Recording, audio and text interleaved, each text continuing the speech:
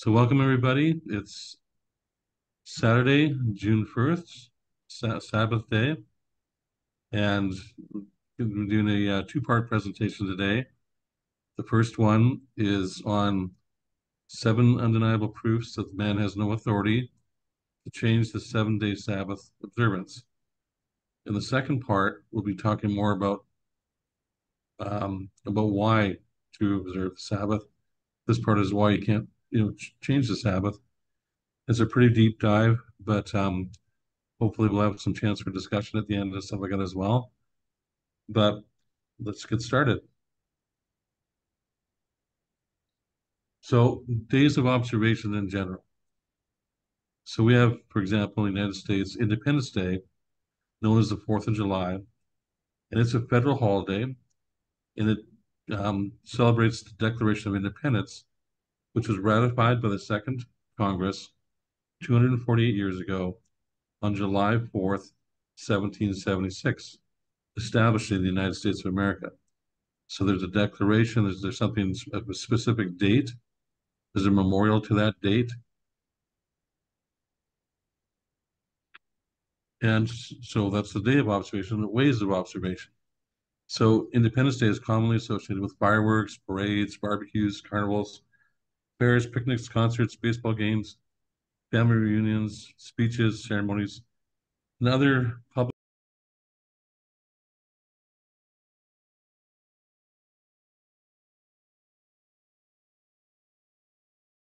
that makes sense because of course it's celebrating the um, the the initiation of the United States, the, the Declaration of Independence.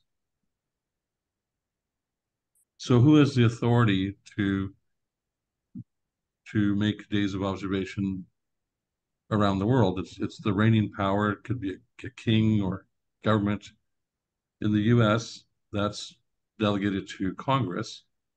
And right as of today, they're start off with four, but as of today, there's 11 federal holidays that are designated by the United States Congress. Each one has its own significance. Each one is a certain day, a certain way of observation. It memorializes something, and it was authorized for that day to be observed by the by the Congress. And obviously, the observation is highest amongst those in personal agreement with its uh, significance. so, for example, some days,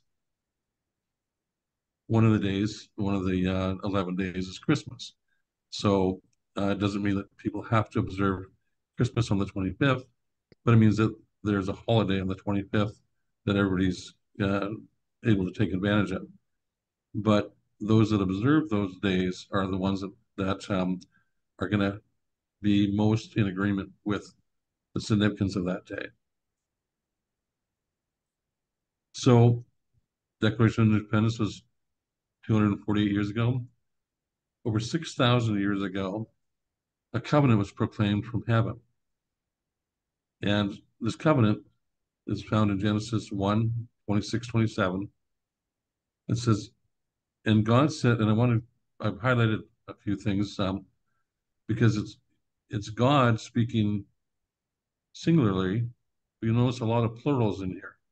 So, for example, God said, "Let us make man in our image, after our likeness, and let them, even though it says man, let them have dominion over the fish of the sea, over the fowl of the air, over the cattle, over all of the earth, and over every creeping thing that creeps upon the earth." So God created man in his own image. In the image of God created he him, male and female created he them. And this this is the very first chapter of the very first book of the Bible. So it's Genesis. It gives us the very first glimpse of things. As we go through the rest of the Bible, these revelations become clearer and clearer and clearer.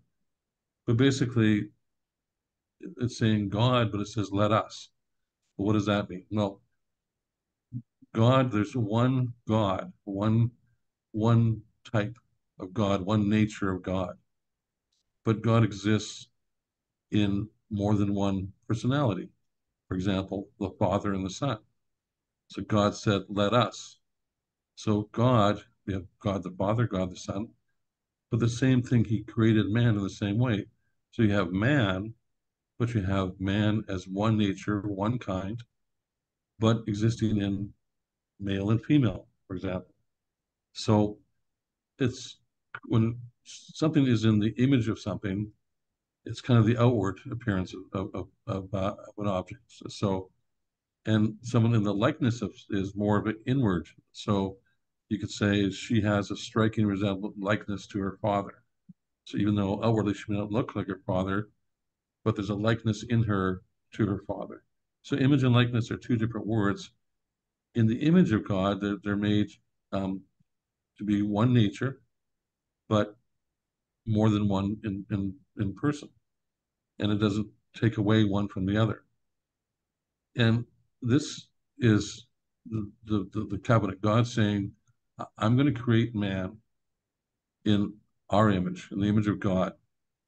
And in that image and in that likeness, I'm going to give man dominion over all my creation. And one of the biggest errors in all the theology is to try and teach the relationship between God and man in terms of a contract, like an ordinary contract, because that's that's that's the foundation of all kinds of error. Contracts originated in Babylon. Covenant originates in, in the Bible. It's so important to the Bible that the whole you have the old covenant and the new covenant, or the Old Testament, the New Testament. The whole book is about the covenant. You don't have the old contract and the new contract. A contract is transactional. It's just once it's it, it terminates. Once it's fulfilled, then it's done, and you need a new contract. A covenant is ongoing. It's perpetual. It's everlasting. It's transformational. It, it's, a good. The best example to use is a is a wedding covenant relationship of, of a marriage. So it's not a five-year marriage with a fixed term. It's meant to be ongoing, everlasting. It's meant to be transformational by being what used to be I is now we. What was mine is now ours. What's and the, the two are now one. Two two individuals, but one in spirit, one in accord. The same as the Father and Son are one uh, in spirit, one in one in one in likeness. With a contract, it's mandatory to have considerations. Consideration is some form of payment, usually cash, but it can be services. But so with a contract, there's mandatory consideration. With a covenant, there's consideration is not required. So, for example, even when you go to the wedding, the Eastern uh, thing of, of, paying dowries or paying money, it's not part of recognized in, in a covenant marriage in, in, the West. You don't you don't pay for that. It's it's a there's no consideration. The in a contract, um, it terminates upon default. So if one party doesn't uphold their end in a contract, then that's terms for default. That terminates the contract. In a covenant, the stronger is obliged to help the weaker. So that's why you have in the wedding vows, in better, uh, for better or for worse, in sickness and in health. It's it's a covenant relationship. It's it's you're, you're there as long as the other person wants to remain in the covenant, you're obliged to help them fulfill it. If they if they get some somehow weaker or some way that they're having a hard time fulfill it, a covenant, you're obliged to try and help them fulfill the covenant as long as they want to remain in the covenant. Contract is an exchange of values, so I'm going to give you this to get that. And covenant is it's a union. You're not exchanging things. You're you're you're you're, you're sharing something. Co contracts are signed. Covenants are sealed. Contracts focus on the letter of the law. Covenant is the spirit of the law. So there's some general definitions, but we have a covenant here that's that's stated the very first chapter of the very first book of the Bible. The second chapter of the Bible, we observe the seventh day Sabbath is the fulfillment of the Lord's covenant. Because although man was created the sixth day, the, num- the, the Sabbath is the seventh day because the seventh day is the first day that that covenant is fulfilled. It's the first day that the man and the woman walking together as one in peace and harmony with God. And when it, talks about the Sabbath, it says it's sanctified too, which means made holy, which means without sin. So that first day that you know Adam and Eve were created, the very next day, God uh, declared the Sabbath. It's the first day they walk together without sin, in harmony, with at peace with God. So the sixth day is, you know, that's why the number of man is six, but the number of God is seven, and it's always the the fulfillment. It's the seventh. It's the fulfillment of the covenant. So the there was a, a historic seventh day, and on that seventh day, man uh, which was in, in, the form of the male and female, walked together with God, and that was memorialized. So it's a historic day. But that's the whole population of the world at the time.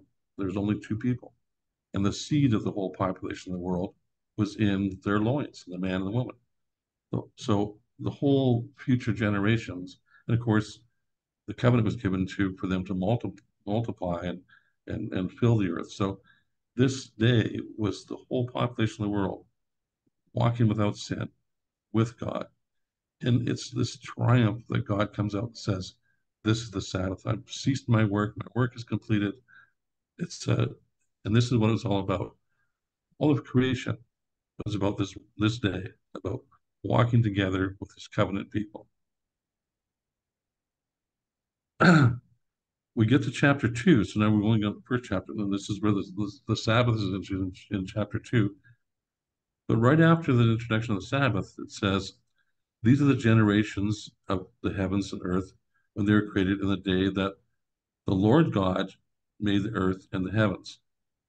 So in chapter one, you have Elohim, which is God. Here you have personal name for God, the personal representative. That's Lord God. But to begin with, we look at what, what does it mean by generations. That's the English translation from Hebrew term, toledoth, which means an orderly process, and then made, which uh, means fully completed. So it's saying that there was an orderly, uh, orderly process beginning with the first day, let there be light, all the way through to creation of man. And then at the creation of man, they um, uh, the work was was declared completed. What is the name Lord? Well, English Bibles translate the Hebrew name Yahweh as the Lord, which is always capitalized, or sometimes as the Lord God, Yahweh Elohim. So this, in chapter two, we get introduced to it's the Lord, and it's the Lord that um, that uh, well, let me just don't get too far into myself. So the name uh, Yahweh, um, we've got an explanation in Exodus 3.14, is I am who I am. Tell them I am sent you. And it really comes from a root that means the one that brings forth. So the one that calls into existence. Let there be light. Light was brought forth. And this is God the Son. This is Yahweh is God the Son, Son of God. He's the direct representative of God and the mediator of the covenant. A mediator is someone that brings it together, brings the two parties together, brings brings the fulfillment. It's an important word. And we'll talk about that later on. But so the, the Lord um, is is introduced here as the one, and you, and you, as you go through the chapter two, you see it's the Lord that breathes into Adam. It's the Lord that gives Adam the the instructions. It's the Lord that that uh, separates um, um, and, and, makes the, the, the man and the woman and, and gives them the covenant. So, the example, Genesis 2 16, 17. And the Lord God commanded the man, saying, Of every tree of the garden thou may freely eat, but of the tree of the knowledge of good and evil thou shalt not eat of it, for in the day that thou eat thereof thou shalt surely die. So remember, it's the Lord's giving him this. So what what is that about? Well, in order to have a covenant, both parties have to agree.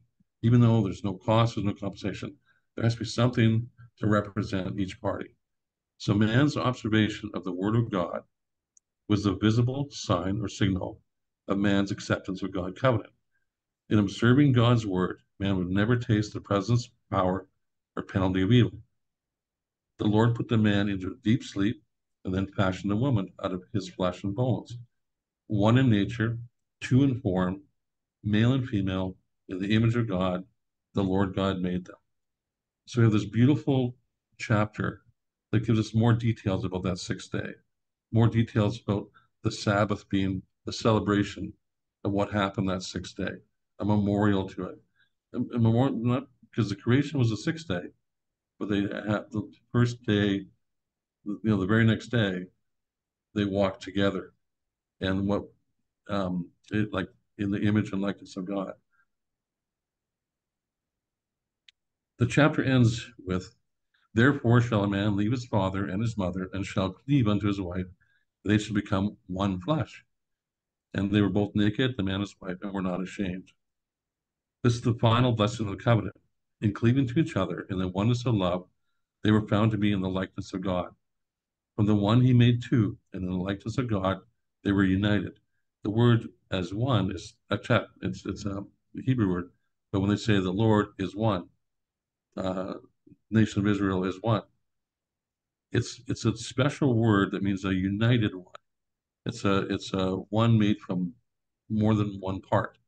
So when it says the Lord God is one, yes, God is one, but the Lord is an individual, um, or, or when it says God is one, the Lord is um, uh, uh, uh, a name given to us for, um, you know, for the mediator of this covenant.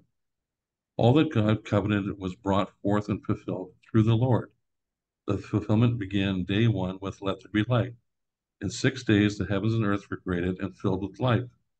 Upon the creation of man in the form of the woman and the man, the Lord declared his uh, creation completed. The seventh day, the Lord and his covenant people walked together without sin and in harmony.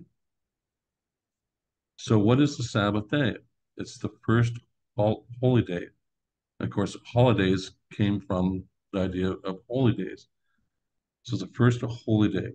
It memorializes the historic seventh day when God's covenant was fulfilled through the Lord, when man, in the image and likeness of God and in the absence of sin, walked together with the Lord and inherited the covenant promise of having dominion over all creation. So there was a historic first observation that day, that seventh day, was a historic day. It actually happened, and that Sabbath was, you know, was was um, given by the Lord, but it represents something that historic. So what what how are we supposed to observe it? Well, it's ongoing observance every seventh day. It's perpetual. It's ongoing. It's a covenant. It doesn't. It, the first, the next day, is the first day of the next seven day cycle. So it's one, two, three, four, five, six, seven. The next day, one, two, three, four, five, six, seven. It's perpetual. It's ongoing. It's meant from generation to generation. How, what's, what's the way of observance? It's peaceful communion with each other and with God. And what's the authority? Like I said, Congress has the authority for the Declaration of Independence. The authority is God. God is the one that has the authority to initiate this day and nobody else. So there was an attack on this covenant. There's an attack on the Sabbath observance.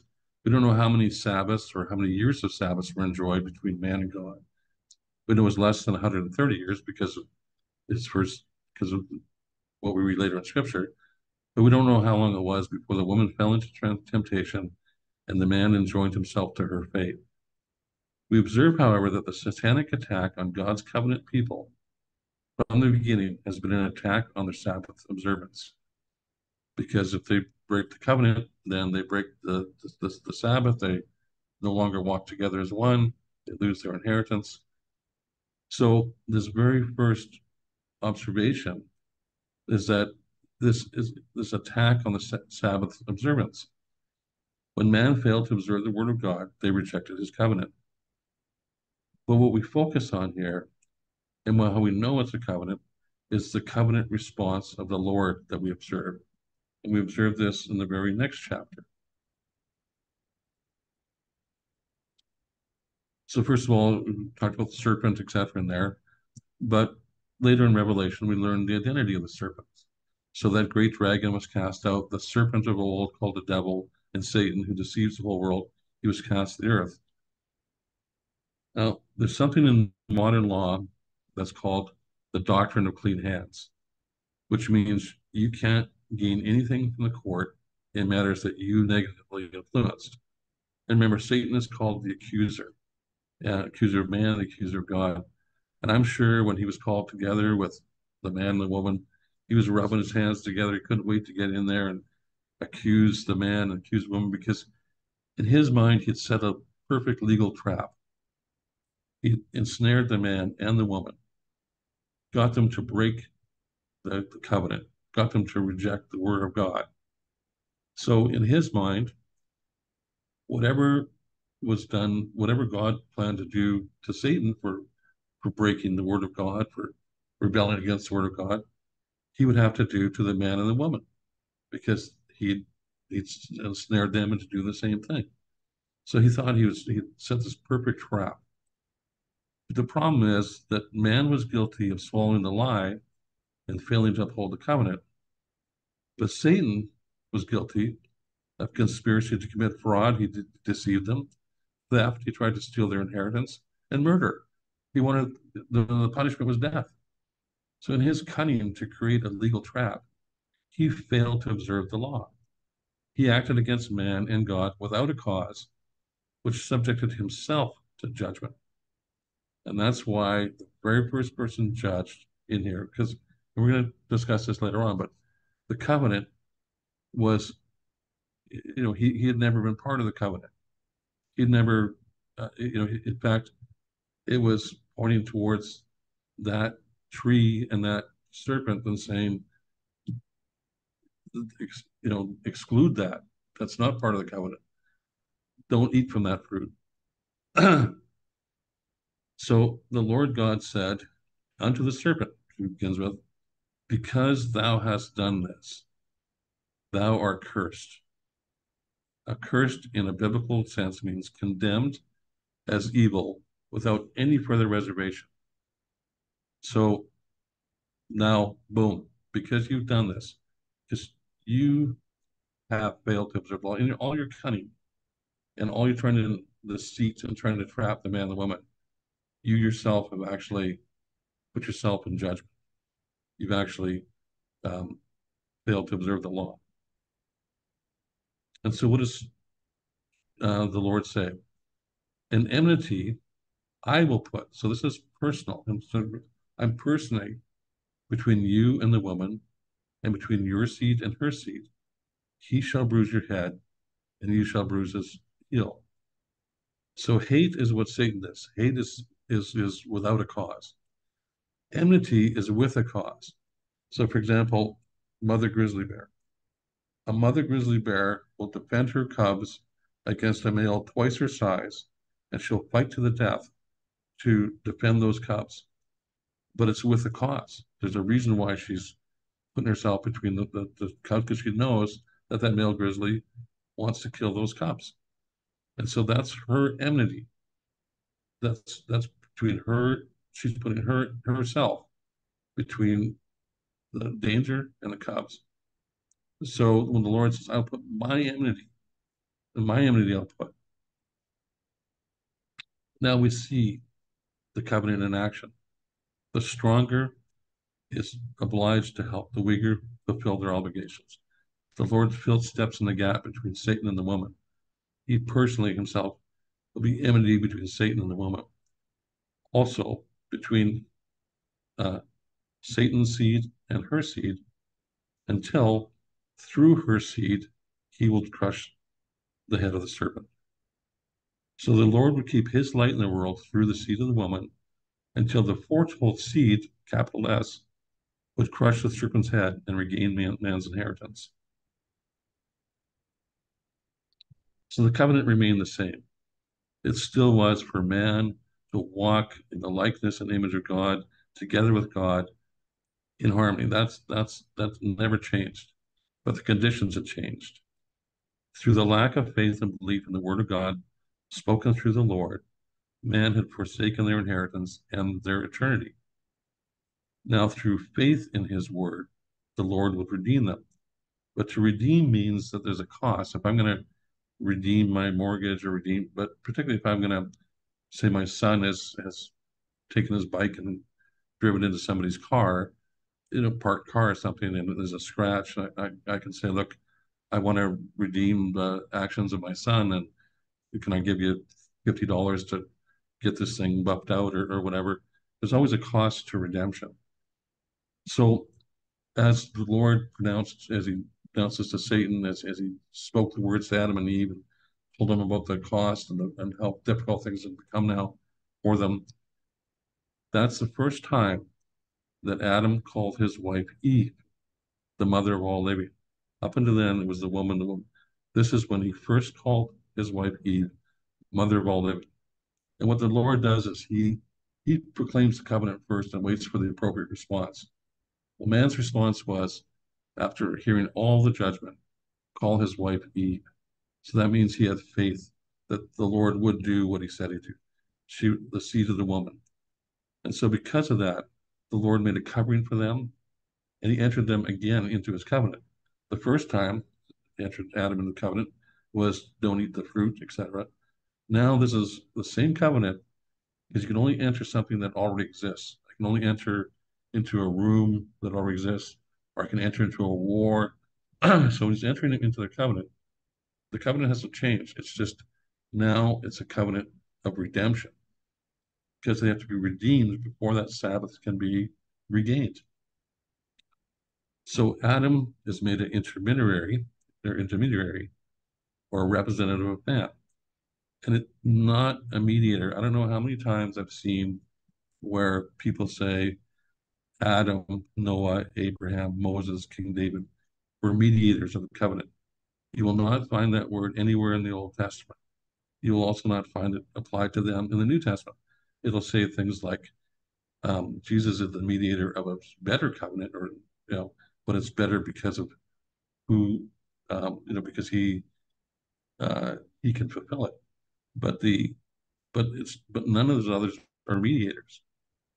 Only Jesus or only the Lord is the mediator. So, but he but to be in a covenant, like I said before, you have to have a representation. So Adam represents man and uh, and Adam and Eve, They like I said, they did the ceremony. They were covered. There was a cost involved in that ceremony to, to cover them with skins. Obviously, a life had to be taken. But but just to, to get the kind of everything down here, there's this is the same covenant, the same Sabbath that it's based on, but now it's a covenant of redemption, and as as for example, Adam lived over 900 years. Uh, you know, then Noah was born just over a thousand years, and then Abraham. So there's always Noah was alive when Abraham was alive. So he kept a light in the world, and as the covenant was further and further fulfilled, this seed of the woman was further and further fulfilled. Then, uh, you know, he was able to take others and enter them into the covenant on behalf of, of man also as intermediaries. So the clearest revelation of the redemption was given to the pattern in Moses. And Moses was given a Sabbath of holy day fulfillments, Passover, first fruits, etc. There's seven different um, days. Each appointed day was observed in a different appointed way. Appointed day, appointed way, all representing things of fulfillment. And the reason why I say that is because when you look at, for example, the 11 different days for the U.S., um, you know, the, the Declaration of, of Independence, the, the, the, the celebration of, of the U.S., when there was wars later on, the Civil War, World War One, World War Two, they didn't change the, the July 4th holiday to some other day uh, when they defended that independence, they created another day, like Memorial Day, another day in observance of that. So each day and each way is, is separate. The Sabbath was never changed. There was given a Sabbath of years. There was given the Jubilee, seven times seven years. Fulfillment upon fulfillment. Remember, the Sabbath is always fulfillment. But the covenant and the seventh day remain unchanged. So when you're looking at different days, uh, each day is for an appointed um, event. So, but this clear pattern was given to Moses, and that became the worship pattern for the nation of Israel. Uh, part of that, uh, in giving it to Moses, was the seventh day was given as a sign. Now, a sign means, um, again, acceptance. It's it's to signify. Um, so, I ask you to observe this. How do you signify that you that you agree with that? That that's what you want too. That you want that Sabbath peace, that rest between man and God. Well, I observe it. I, I'm agreeing by my observation of it. If I don't agree, I, I don't observe it. Like I said before earlier, we're talking about observed days. The ones that have the most significance are the ones that are going to actually observe that. So it's a, it was a, given as a sign between me and the children of Israel forever. For in six days the Lord made heaven and earth. And the seventh day he rested and was refreshed. And he gave unto Moses, when he had made an end of communion with him upon Mount Sinai, two tables of the testimony, tables of stone written on the finger of God. The Lord gave Moses this instruction. And what is on those tables of stone? Remember the Sabbath day to keep it holy. Six day thou shalt labor and do all thy work, but the seventh day is the Sabbath of the Lord thy God. In it shall do no work, nor thy son nor daughter, thy manservant, etc. For in six days the Lord made heaven and earth, the sea and all that's in them, and rested the seventh day. Wherefore the Lord blessed the seventh day and hallowed it. So I want you to notice that it keeps saying the seventh day, the seventh day is the Sabbath of the Lord. Wherefore the Lord blessed the Sabbath day and hallowed it. So it's the seventh day, not a seventh day, as in keep one day out of every seven. It's not, well, let's pick the second day, and then we'll keep every seven days from there. So it'll be the second, the ninth, eleventh, you know, whatever. It's the Sabbath day. Keep the Sabbath day because the Sabbath day is the day that God rested and declared holy, and is the, is the day given as observance. So this is in Moses' time. This is thousands of years after the garden, and he's saying, "Observe the Sabbath day." It's a sign between um, between me and you, and it's on written in stone on the tablets of of the testimony, and those are the covenant uh, um, commandments. So you have, um, again, in the clearest pattern given, the Sabbath is is is foremost in it. It's it's there's no other holy day, even though God gave other holy days for fulfillment. There's no other holy day in the commandments but the Sabbath, and it's the Sabbath day. and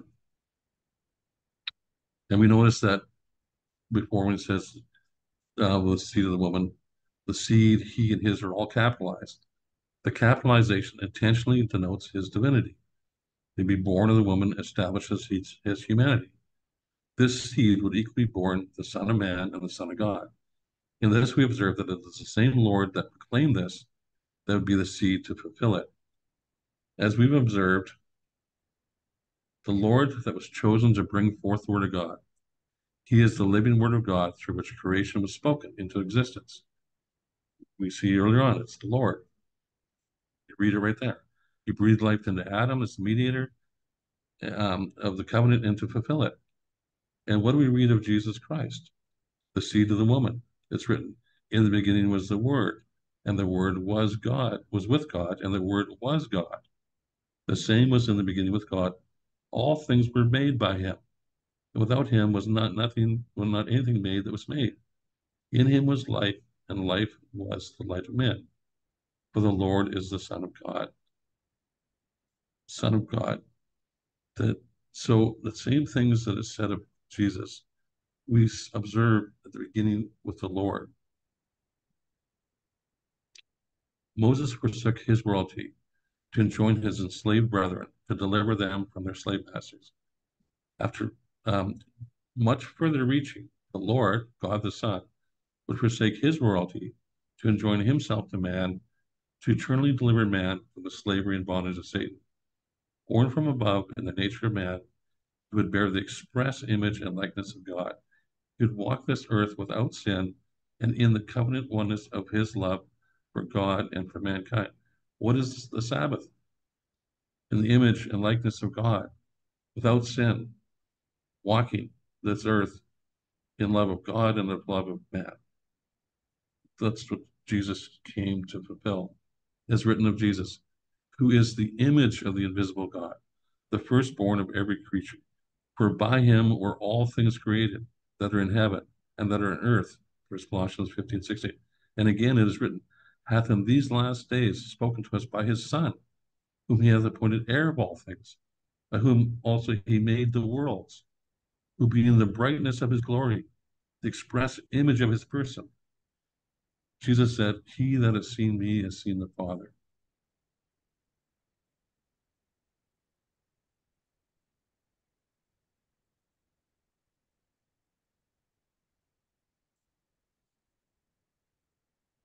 1 Timothy 2 5, it says, For there is one God and one mediator between God and mankind, that man Christ. So when it talks about Jesus being the mediator, the Lord was a mediator from the beginning. And it wouldn't be handed to anybody else but the seed of the of the woman. For God so loved the world that he gave his only begotten Son, that whoever believeth in him should not perish, but have everlasting life. That nothing can ever separate us from God's love, neither death nor life, angels or demons, fears for today, worries about tomorrow. Not even the powers of hell can separate us from God's love. No power in the sky above or in the earth below. Indeed, nothing in all creation will ever be able to separate us from the love of God that is revealed. How's it revealed? In Christ Jesus our Lord. Take a little drink here, sorry.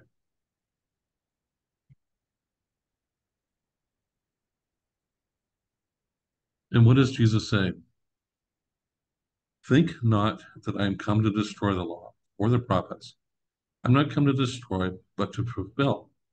For verily I say unto you, till heaven and earth pass, till heaven and earth pass, one jot or one tittle shall no wise pass from the law, till all be fulfilled.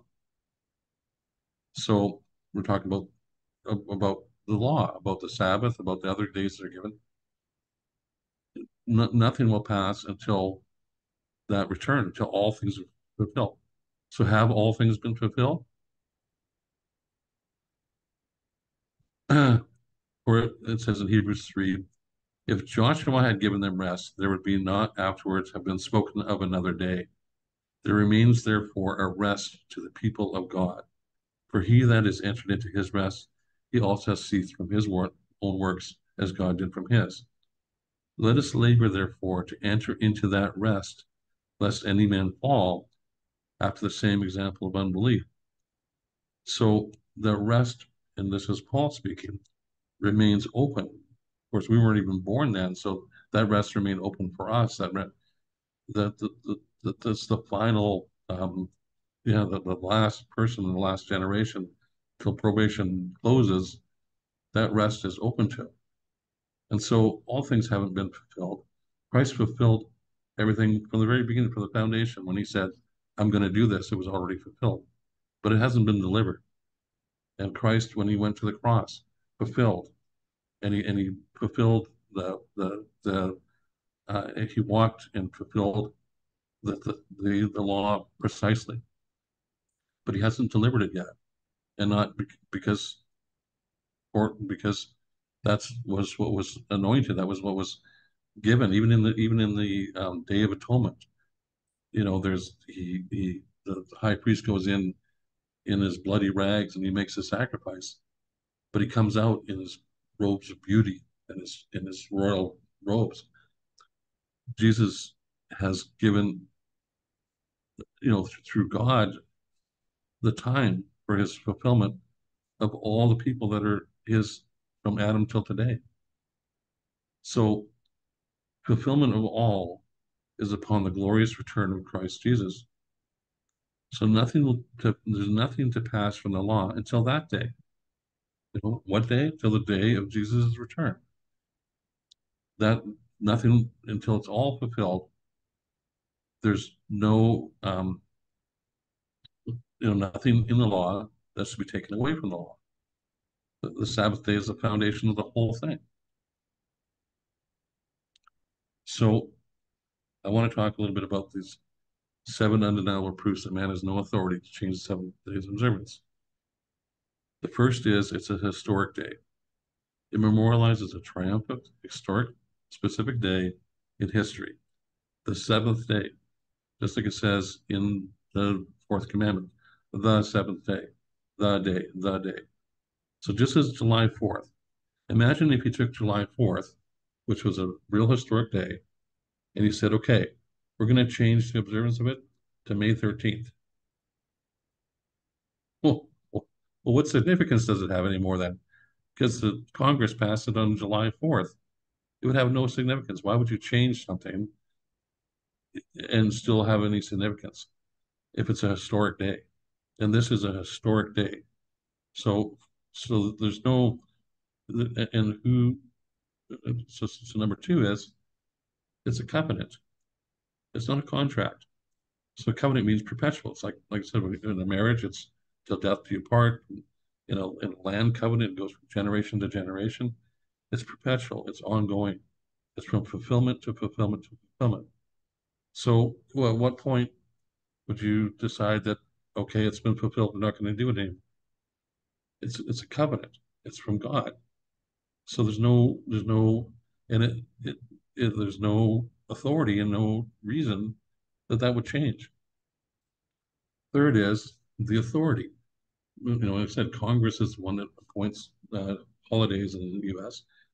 God appoints holy days, and God never said anywhere else, "I'm changing the Sabbath day." You won't find it anywhere in the Bible. The Sabbath day is the whole covenant. It's what Jesus came to fulfill. He came to, and that's the next point, but it's a fulfillment it's not a um, it's it's it's it's it was fulfilled already on that seventh day, and it will be fulfilled again through the Lord. So, like I said, other days and ways were given for that redemption plan, Passover, first fruits. In fact, here's something interesting. Passover was the 14th day. Then you have the Sabbath, and then you have first fruits on the, on the, the Sunday. So people say, well, the Sabbath was changed to the first day of the week, the Sunday, because that's when the Lord rose. Well, guess what? It already had a day named after it. It's called First Fruits. there was already a holy day set aside for that very event that Jesus fulfilled. Also, Passover the 14th day. The next day is the Sabbath.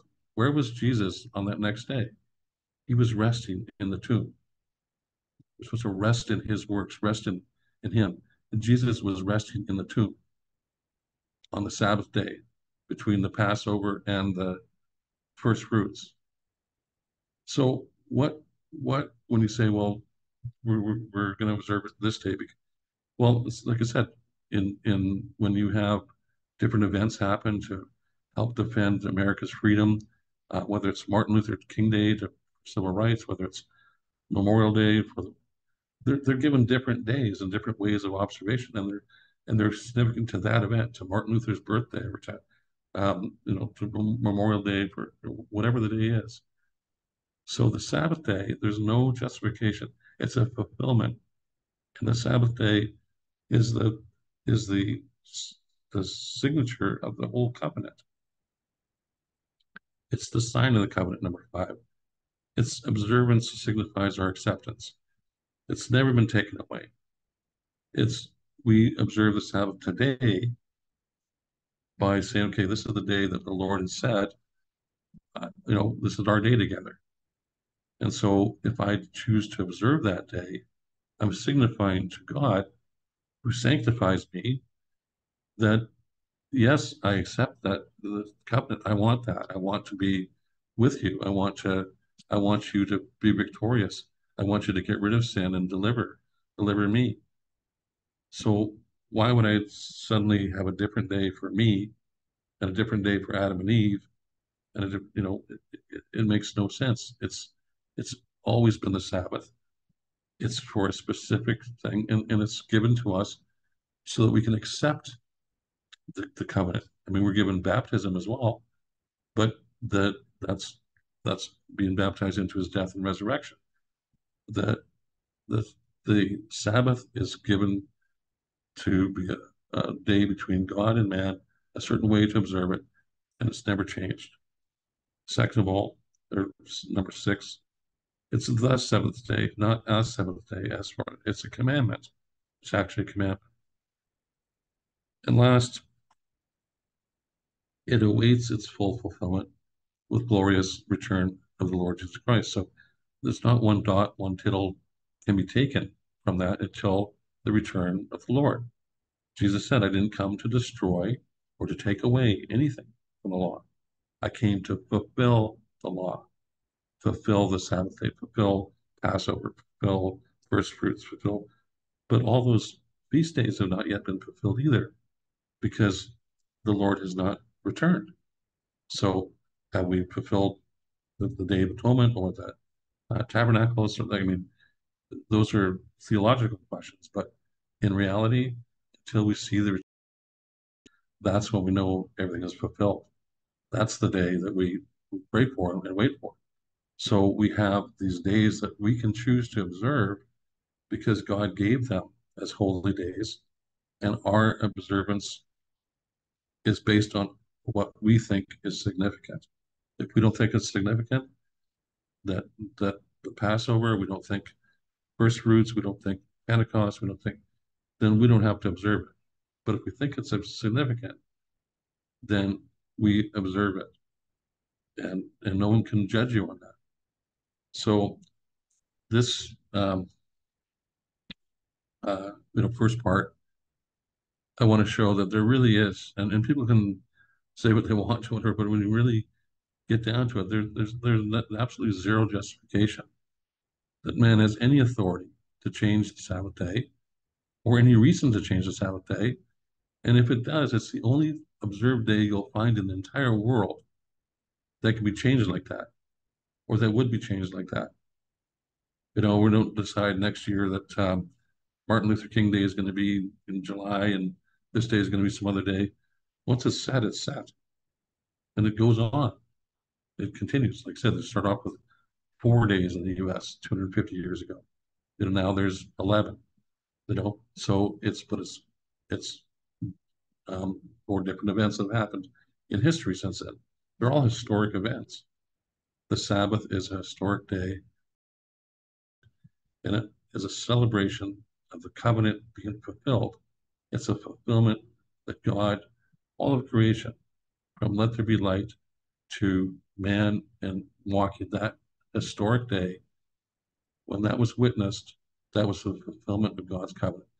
God walked with his covenant people. The Lord walked with his covenant people that day. And we don't know how many days after that, but we know that um, there was no sin. They walked together exactly as God had promised. And so, and when when that Sabbath day got attacked, when that observance got attacked, Jesus didn't, the, the Lord didn't terminate the contract. He doubled down and he put himself in entity, he put himself between the woman and, and Satan, himself between um, the seed, and put himself as the seed to fulfill this covenant. So This was Genesis 3.15 that was given. The whole rest of the Bible, that's the third chapter of the first book. There's 66 books. So whole rest of the Bible is about the fulfillment of that covenant. Like I said, the old covenant, new covenant. But in Genesis three fifteen is also the first biblical prophecy.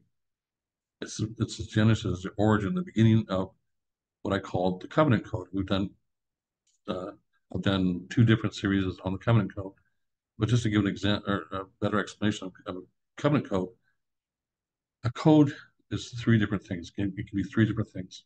It can be a governing code. So, um, and and it is. It's the conduct of the Lord in response to the attempt to destroy His covenant relationship with man. So there's there's a governing code. There's a law that that comes out of that. There's a covenant standard. Um, so, for example, you can have a dress code. You know, um, is is part of a covenant standard. So the standard required to remain or enter the covenant and that is it's faith in the Lord and His Word and His righteousness. It's His righteousness that we're clothing. So the covenant, can, uh, a code can be a governing code. It can be a covenant uh, or a st standard. But mostly, and this is exactly what it is here as well, it's the messaging. Beginning at Genesis 3.15. The words, symbols, other forms of communication from God that we are intended to be received and understood by his people regarding the observation of the prophetic fulfillment of his covenant, specifically regarding the seed of the woman. So God put in all of those scriptures, and we, we've studied some of them out, what we're intended to see, what every word counts, everything matters. It's the language of God. He teaches us a new language that's not confusing, and he explains it to us and puts things in there so that we recognize his word. So I'm just looking at my time here.